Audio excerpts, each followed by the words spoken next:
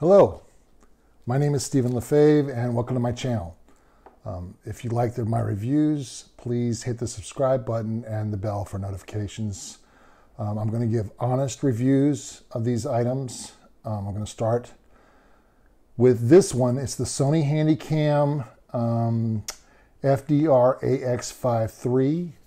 Bought it from Best Buy along with the protection program um, about a year and a half, two years ago, and um, with the thought that I was going to become a, uh, a video, a vlogger, and that was my plan.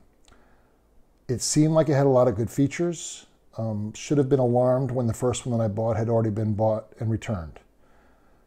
So, as I said, I bought the additional warranty, and there's this flip out screen here um, that I didn't realize it at the time, but there's something called a ribbon cable that connects the body of the camera to this screen. And the screen is fully able to be turned even backwards, which is really a cool feature. Um, but the ribbon cable broke not long after I got it. Sent it off under the warranty. They repaired it, sent it back. I was probably without it for maybe a week tops. It wasn't very long. I don't remember it being very long, let's put it that way. Um, so once I realized that it was very delicate, I stopped using that part of it. And you can also turn it on by pulling this out, and that will turn the camera on. And so you don't have to flip this thing out. And I was thinking that that would be a better way to go. Um, didn't use it for a long, long time. I got a couple GoPros, which is what I'm filming on now, and I love the GoPros, but the GoPros have no zoom, and this did and that was why I wanted this, and I want, wanted this to work. Um, I paid roughly $800 for it, maybe nine with the warranty, or maybe even close to a thousand with the warranty. And um, so I set it aside. I uh, I had it in a case that was cushioned. Um, didn't really mess with it. Um, didn't use it for a long time.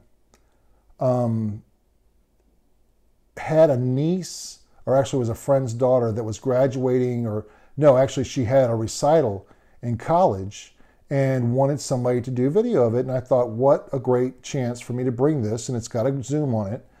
And so I took it and set it up on my monopod, and the thing would not focus.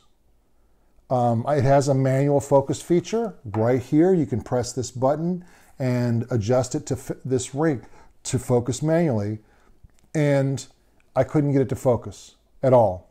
And if I did get it to focus, it would go out of focus as soon as I stopped trying to focus it. So that really kind of perturbed me. Um, it was the only thing I brought. Uh, you would think that I would have experience with things like this and that I would have brought something else for a backup, but I didn't. I counted on this.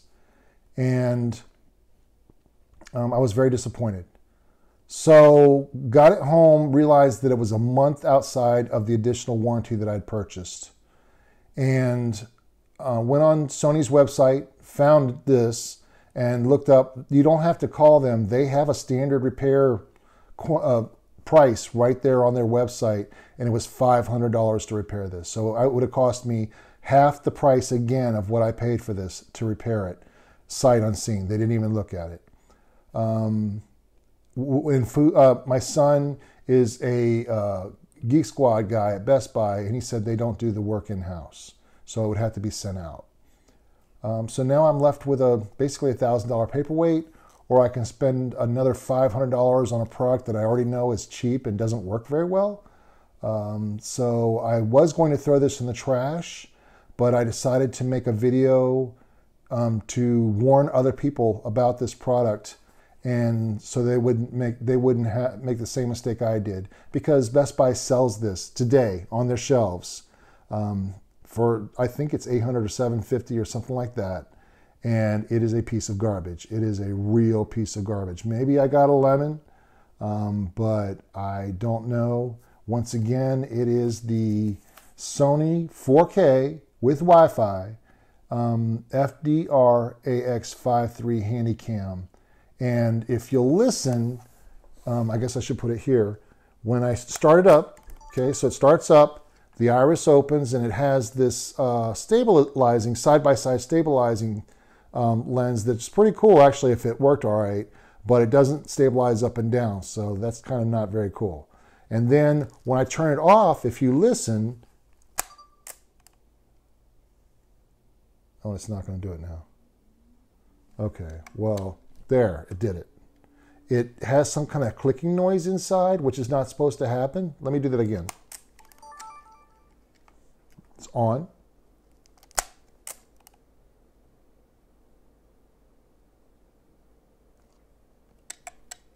That. That's not supposed to happen. So I don't know what's going on. But as I said, it doesn't focus. Tried resetting it, tried charging the battery, um, tried all kinds of things to make it work. Um, I think I even tried a firmware upgrade, and it's just a piece of junk. Um, balanced optical steady shot, Sony 4K Handycam, 16.6 megapixel, and I will never buy this again. Um, what I should do, and it's expensive, so this was about a grand to go up. There's two other choices that I can see.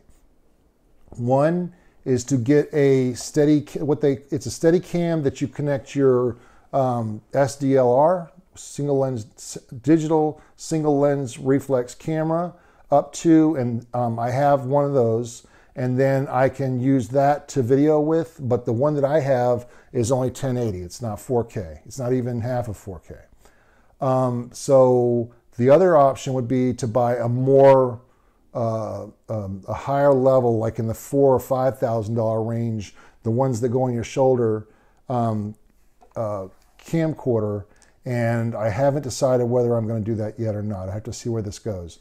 The purpose of all this is that I plan to go into real estate, videography, the video walkthroughs, and the um, I've got a drone. I'm going to get my Part 107 license, my remote pilot license, to be able to um, do uh, drone footage and still drone shots. And you can actually walk the drone through the house and use a stabilization gimbal on your drone to make your video. So, and then add the narration or music or whatever afterward. That's my plan. Um, my background is that I was a photographer, weddings, portraits, food, you name it.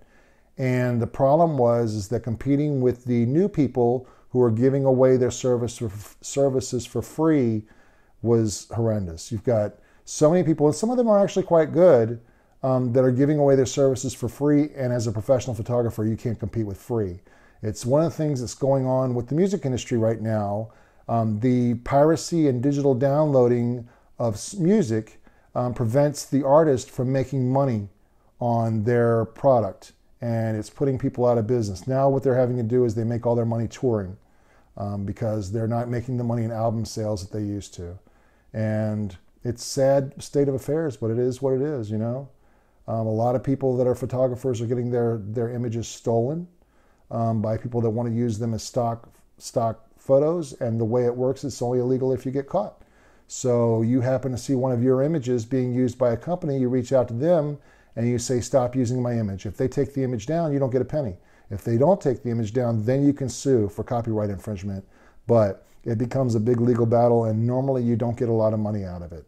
So, and I imagine with uh, cell phones and, and, the video and cell phones, my my um, my Apple uh, 11 Pro Max will take 4K video footage. Um, so, and it's it actually looks really good. It, it, it looks really good. So, I imagine as that happens, things like this will become a thing of the past. Um, and uh, that's it. If you have any questions or comments about this product, maybe you've owned it and had a good experience, or uh, maybe you have a suggestion for something that would be um, in the right price range, um, but uh, and it's good quality, but not not as expensive as a, say five thousand dollars. Please leave it in the comments. Um, thank you very much for watching. Bye bye.